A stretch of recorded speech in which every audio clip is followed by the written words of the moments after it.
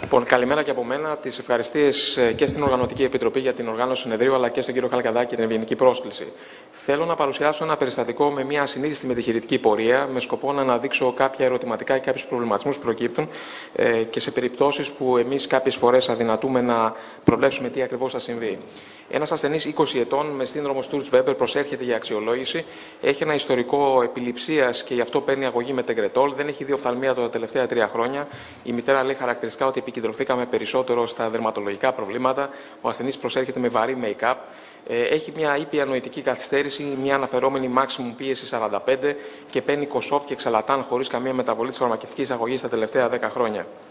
Ε, η οπτική τοξίτα είναι 20 κοστά, στο μάτι το οποίο είναι επιβαρημένο είναι πάρα πολύ χαμηλή. Η ενδοφθάλμια πίεση είναι 21 και 50, έχει παχύ κερατοειδή, έχει αντίδραση Μάρκους Γκάν στον αριστερό οφθαλμό και μια αισθητηριακού τύπου εξωτροπία και έχει μια χαρακτηριστικό εικόνα τριχοειδικού εμαγγεώματος στην αριστερή πλευρά στην περιοχή κατανομής του πρώτου και του δεύτερου κλάδου του προσωπικού νεύρου.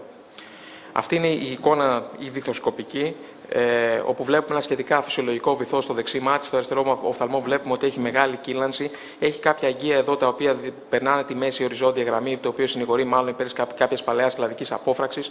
Έχει μια σκλήρινση των τυχώματων, του τυχώματος των αγγείων της φλέβας, μάλλον λόγω της πολύ αυξημένης ροής ε, στην περιοχή αυτή και κάποιος πολύ προσεκτικός παρατηρητής μπορεί να πει ότι αυτός εδώ βυθός είναι λίγο πιο κόκκινος. Πράγματι σε β' υπερχογραφία έχει υπάχυνση του χοροειδού χιτώνα.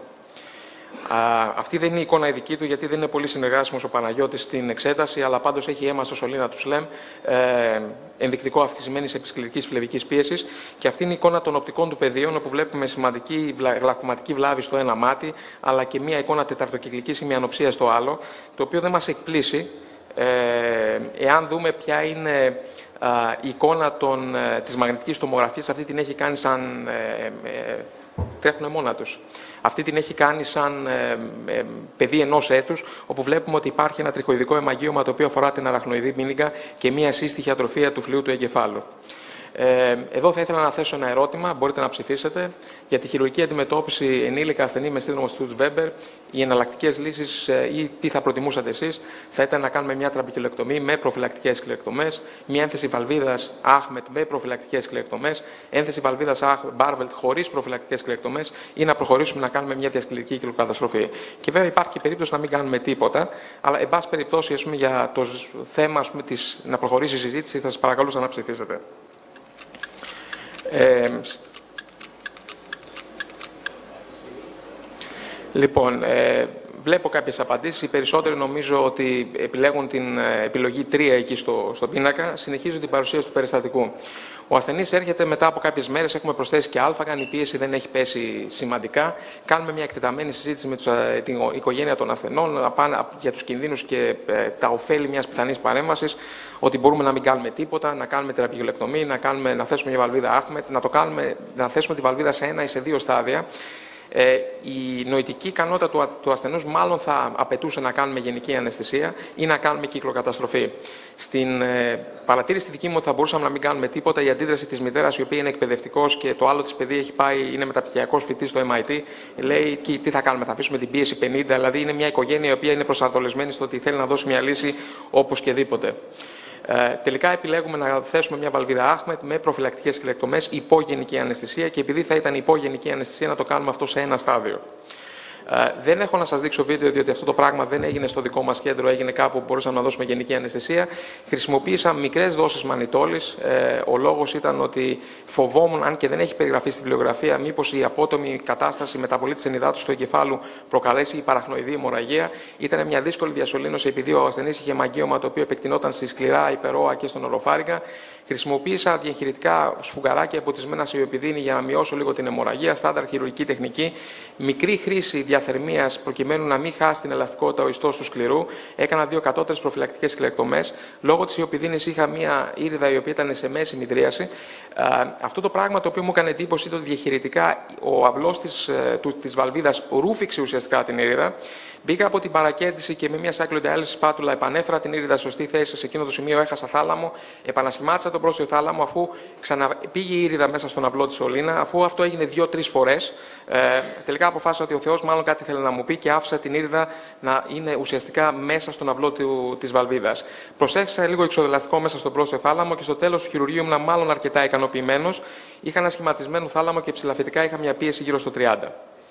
Ε, Πρώτη με τη χειρητική μέρα ο ασθενής έχει σχεδόν πλήρη αθαλαμία. Δεν ακουμπάει ο φακός, αλλά ακουμπάει η περιφέρεια της ήρυδα, η οποία είναι σε μέση μηδρίαση και η ήρυδα εξακολουθεί και είναι ρουφηγμένη μέσα στον αυλό της βαλβίδας. Δεν έχω εξυδροματικέ συλλογές του κοροϊδού. Προχωρώ σε maximum κυκλοπληγία και επανασχηματίζω το θάλαμο με χίλον GV και στο τέλος της παρέμβασης αυτής έχω αυτή εδώ πέρα την εικόνα, όπου βλέπουμε ότι έχουμε ένα σχηματισμένο θάλαμο με πάχος περίπου 1,5 ε, βάθος θαλάμου 1,5 περίπου πάχος κερατοειδούς. Ε, και εδώ βλέπουμε που βρίσκεται ο αυλός της βαλβίδας και βλέπουμε ότι αλλάζει λίγο το σχήμα της ήρδας καθώς είναι ρουφηγμένη μέσα στο βαλβο, στο, στον αυλό της βαλβίδας. Δεν έχω πολύ καλές εικόνες διότι αυτή είναι η συνεργασία του ασθενούς. Δεύτερη με τη χειρητική ημέρα πάλι ο θάλαμος είναι flat. Έτσι. Έχω grade 2 υποθαλαμία, δεν ακουμπάει ο φακός, ακουμπάει όμως η περιφέρεια της ήρυδα. Πάλι η ήρυδα βρίσκεται μέσα στον αυλό της βαλβίδας. Δεν έχω κορόινταλ, προχωρώ ε, και συνεχίζω τη μάξιμου κυκλοπληγία και αποφασίζω να επανασχηματίσω το θάλαμο με 14% C3F8. Αυτό είναι το αέριο το οποίο χρησιμοποιούν οι, οι, οι δικοί του αμφιλοστροειδού. Ε, επειδή ο ασθενής φύγεται, ε, δεν κατορθώνω να εισάγω μια πολύ μεγάλη δυτική φυσαλίδα, αλλά ε, τρίτη με τη χειρητική μέρα έχω επιτυχία. Ο θάλαμος είναι σχηματισμένο. Έχω ένα μεγάλο έλλειμμα του επιθυλίου λόγω της ε, συνεχής χρήσης μπεταντίν. Η ήρυδα εξακολουθεί και είναι ρουφηγμένη μέσα στον, στον αυλό της βαλβίδας. Έχω μια όραση η οποία είναι πολύ χαμηλή, μια πίεση γύρω στο 30. Πέμπτη με τη χειρητική μέρα η εικόνα του ασθενούς παραμένει σταθερή. Ο ασθενής επιστρέφει στο σπίτι του που είναι κάπου στο νομό Αρκαδίας, συνεχίζει την κυλοπληγία και του ζητάω να επανέλθει σε μία εβδομάδα αφού διακόψει την κυλοπληγία μία μέρα πριν με δει. Και αυτή εδώ πέρα είναι η εικόνα την πέμπτη, πέμπτη με τη χειρητική μέρα. Πάλι μια εικόνα όχι πολύ καλής ποιότητας. Βλέπουμε μια πολύ μικρή δυτική φυσαλίδα. Βλέπουμε ας πούμε, την αλλαγή του σχήματος της ήρυδα, καθώς η ήρυδα είναι ρουφηγμένη μέσα στον αυλό της βαλβίδας. Και βλέπουμε έναν ε, σχηματισμένο θάλαμο, τουλάχιστον δεν ακουμπάει, ε, όχι πάρα πολύ βαθύ. Δωδέκατη με τη χειρητική μέρα ο ασθενής επανέρχεται, έχει διακόψει κλειοπληγία μια μέρα πριν και είναι πάλι flat και η ήριδα προφανώς έχει βγει μέσα από τον αυλό της ε, βαλβίδας, δεδομένου ότι η, η, η κόρη βρίσκεται σε μίση αυτή τη στιγμή. Και εκείνη τη στιγμή σκέφτομαι ποιες είναι οι επιλογές μου.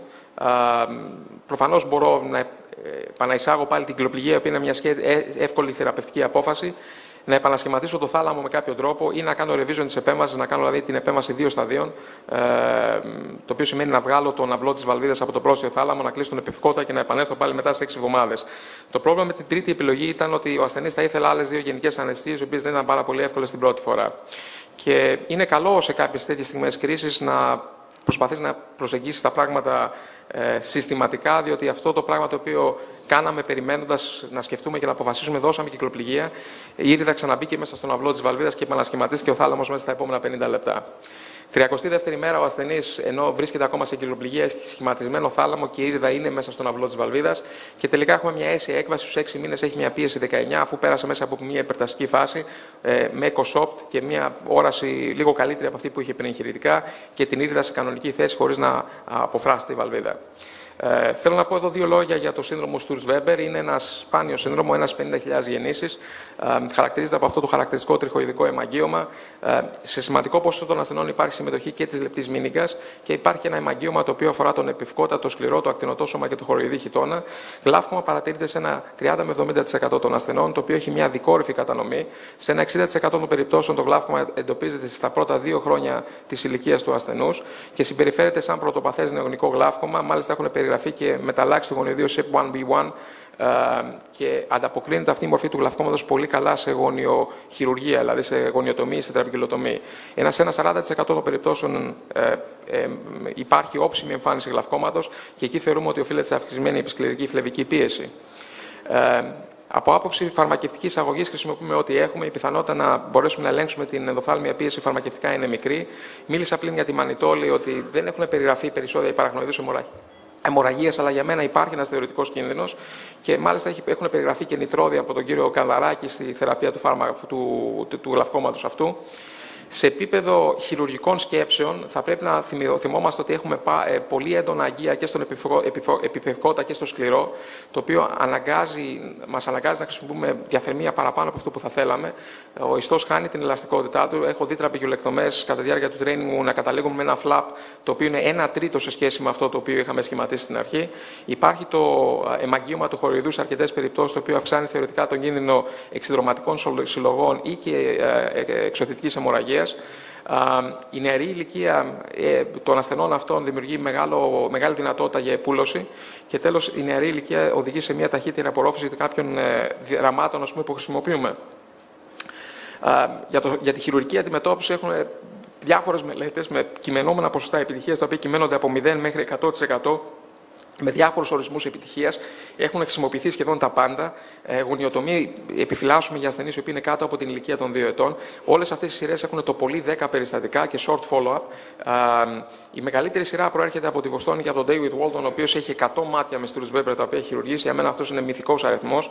Ε, το ποσοστό επιτυχίας ε, στις βαλβίδες που αναφέρει ο Walton είναι γύρω στο 50%. Ο ίδιος έχει μεγαλύτερο ποσοστό ε, στη στραπεκυλοτομία, αλλά όπως ανέφερα και πριν, έχω δει χειρουργία από τον Walton τραπεκυλοτομία σε Στουρ Βέμπερ και η εικόνα είναι πάρα πολύ δύσκολη και εγχειρητική. Εδώ είναι η καμπύλη επιτυχίας 10 περιστατικών από τον Τζουλ Στάιν, όπου ετέθη η βαλβίδα Άχμετ στον πρόσφυγο θάλαμο.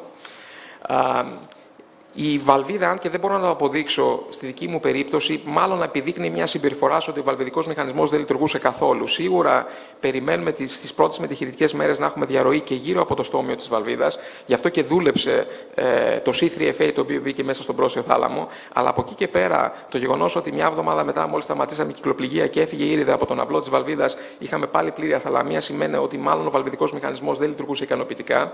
Και το γεγονός ότι ε, ρουφήχτηκε η ήρυδα μέσα στον αυλό της βαλβίδας ακριβώς ε, λόγω της μεγάλης ροής. Ε, οι βαλβίδες οι οποίες δεν έχουν βαλβιδικό μηχανισμό τύπου Barbell ή Moltino, έτσι, χρησιμοποιούμε διάφορες τεχνικές προκειμένου να αποκλείσουμε το, τη ροή, να μειώσουμε τη ροή. Μπορούμε να κλείσουμε τον αυλό της βαλβίδας με ένα Vickel ράμα 6.0 το οποίο διαλύεται μέσα σε 6 εβδομάδες, ή να κάνουμε internal standing με ένα ράμα Supramit, ή να βάλουμε ένα ράμα γύρω από τον αυλό της βαλβίδας, το οποίο θα το κόψουμε με laser, ή να κάνουμε συνδυασμό των από πάνω, ή μπορεί να κάνουμε και μια, ένα, μια επέμβαση δύο σταδίων, ή να χρησιμοποιήσουμε και intracameral C3F8. Ε, αυτός είναι και ο λόγος για τον οποίο εδώ βλέπουμε ε, τα δεδομένα από τη TVT study. Οι, στις Barvel βαλβίδες η, η πίεση πέφτει πιο όψιμα από τη στραπικιολεκτομή, δεδομένου ότι προσπαθούμε να περιορίσουμε τη ροή στις πρώιμες μετυχειρητικέ μέρες ώστε να δημιουργηθεί μια κάψα γύρω από το, τον αυλό της βαλβίδας, γύρω από το σώμα της βαλβίδας και εδώ είναι κάποια πειραματικά δεδομένα τα οποία δείχνουν ροή διαμέσου του αυλού της βαλβίδας 7 μέρες μετά από την επέμβαση ένδεσης βαλβίδας και 4 εβδομάδες αργότερα που βλέπουμε ότι υπάρχει μια σημαντική ελάττωση της ροής, η οποία ακριβώς οφείλεται στο γεγονός ότι δημιουργείται μια κάψα γύρω από τον αυλό της βαλβίδας. Και τέλος θέλω να σας δείξω μια εικόνα από το μέλλον. Αυτό είναι ένα ένθεμα το οποίο αναπτύσσεται στην, ε, ε, στην ε, Ελβετία. Θέλω να ευχαριστήσω τον Μάκη, τον Κοψίνη, ο οποίος μου το έθεσε ας πούμε, υπόψη. είναι ένα ένθεμα το οποίο έχει κάποιες μαγνητικές σφαίρες εδώ, οι οποίε μπορεί να περιστραφούν εξωτερικά και in vivo με ένα μαγνήτη ο οποίος εφαρμόζεται πάνω στον οφθαλμό. Και καθώς περιστρέφεται αυτός ο δακτύλιος, μεταβάλλεται το εύρος του σωλήνα και κατά συνέπεια η ροή διαμέσου του σωλήνα αυτού. Συνεπώς μπορούμε να κλείσουμε τη βαλβίδα ή να ανοίξουμε τη βαλβίδα. Έχει δοκιμαστεί σε πειραματόζωα. Εδώ από πίσω μπαίνει ό,τι βαλβίδα επιλέγουμε. Α πούμε, επιλέξουμε ε, μπάρβελτ ή ούτως ή άλλως ή ούτω καθεξής.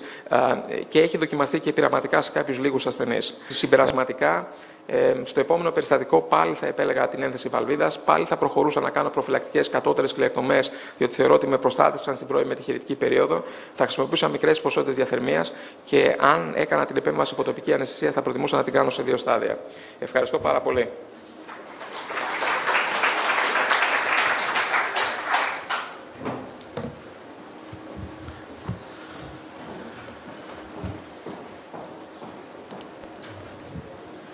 Καταρχήν ε, να ευχαριστήσω και να συγχαρώ τον Θόδωρο.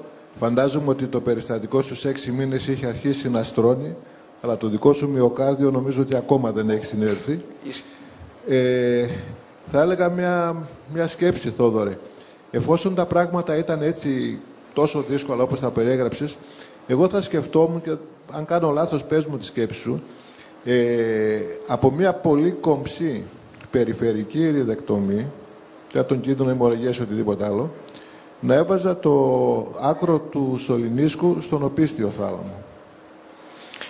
Αυτό, αυτό σε ποιο στάδιο, κύριε Μιλόπουλε; Όταν είδες ότι είχες τις δυσκολίες με την εισρόφηση της ήριδας και τον μη σχηματισμό του θαλάμου και όλη αυτή τη δυσκολία που περιέγραψες. Δηλαδή, προφανώς θα, ή θα έπρεπε να σχεδιαστεί από την αρχή, πράγμα το οποίο δεν γνώριζες, ή αν θα έπρεπε να γίνει σε δεύτερο χρόνο, θα χρειαζόταν πάλι μια δεύτερη ίσως γενική αναισθησία για να κάνεις αυτό το χειρισμό. Που μπορεί να μην ήταν εύκολο. Ναι. Η, η αίσθησή μου, αν και δεν μπορώ να το αποδείξω αυτό το πράγμα, έτσι, η, καταρχήν χειρουργικά ήταν, υπήρχε μια διαφορά ότι η ήρυδα βρισκόταν σε μια μέση μηδρίαση λόγω της ιοπηδίνης και την ιοπηδίνη τη χρησιμοποίησα προσπαθώντας να βιώσω την ποιότητα ποσότητα της διαθερμίας. Ε, η αίσθησή μου είναι ότι εφόσον υπήρχε, υπήρχε μεγάλη ροή διαμέσου του αυλού Τσάχμετ, και αυτός ήταν ο λόγος για τον οποίο ερχόταν η ήρυδα πούμε, εκεί, εκεί πέρα. Συνεπώς, το γεγονός ότι διεγχειρητικά ρούφαγε η, η, η ήρυδα, έτσι, το, τον αυλό, το, ο αυλός της της βαλβίδας ρούφαγε την ήρυδα, ε, εμένα με καθησύχασε γιατί περιόριζε τη ροή. Μόλις έβγαζα την ήρυδα, έχανα το θάλαμο αμέσως. Μόλις έμπαινε η, θύρα, η ήρυδα, σχηματιζόταν θάλαμος.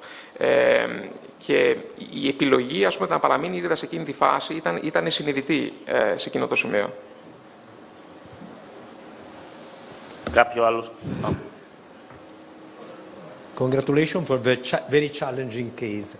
Uh, in uh, my experience, also if I use uh, an ACMED valve, I'm used to make a ligature with a Vicryl also this, in these cases in order to avoid filtration in the first two or three weeks. And these, in some cases, can avoid hypotony in the first two or three days. Yes, you have to manage uh, very high pressure in the first uh, two or three weeks. But in some cases, especially in these cases, can be useful to avoid the so huge hypotony that can expose, uh, for, uh, for example, to choroidal hemorrhage. Uh, thank you very much, Professor Kalanta. My, my, um, this is something I don't know. And I don't know if you're supposed to ligate the tube of the Ahmed valve completely or if you leave it like um, a little bit open, because as we know, when we implant an Ahmed valve, we need to prime the valve. So what happens uh, if you say occlude, you know, that you occlude the two for two or three or four weeks, and then the leaflets stick together again, and then uh, uh, you don't get any, any flow through the valve? Mm. Yes, I, and not agree completely because there are some studies that demonstrate that uh, even if uh, you don't uh, prime the valve, after that the valve can uh, uh, have some extent of flow also after a couple of months. I think that uh, uh, can be a choice. Uh, I, uh, as you know, in surgery, we, there is the not the perfect way, but uh, I think that in some cases it can be useful to make a ligature of a valve, uh, of a tube, in order to avoid hypotony, so huge hypotony like you did. But this is a very particular cases. There is no the right choice. Every case is a single case, a particular case.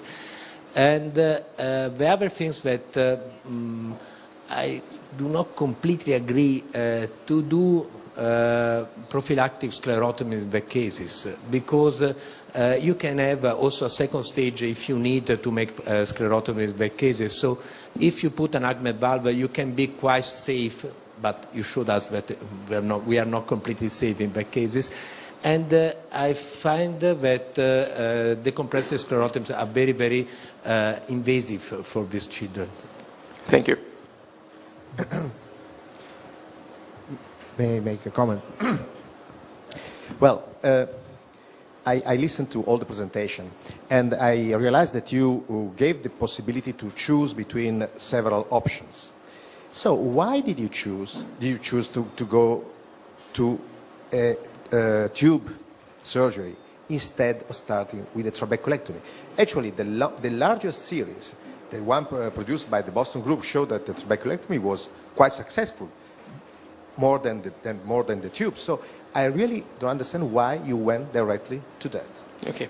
Also because, I mean, with modern trabeculectomy, you can titrate the IUP reduction over time, uh, avoiding the risk of uh, uh, hypotony in the first period and so on. So, I mean, I don't see the, really the need to go there. Thank you very much for the comment. Actually, I've trained with David Walton in the States, and I've seen him perform trabeculectomies in those cases. And uh, my uh, recollection from those days is that you have somebody who is very young and has elastic tissue, and you use a lot of cautery uh, to try to stop bleeding. And as a result of that, you know, the flap of the trabeculectomy becomes so small, you put multiple sutures on the flap, and you always, you know, end up with some, somebody, something that is overfiltrating, and you need to reform the, the anterior chamber, chamber several times. And this can be challenging in somebody who does not participate in the care very much. Um, uh, I mean, he's a young boy, he's 20 years old, and he uh, uh, listens and he follows commands, but he's not somebody who would allow laser suture. He was some, somebody who would not allow to reform the chamber at, at the slit lamp. Uh, so uh, it also has to do with the patient who was of a particular type of, of, of patient.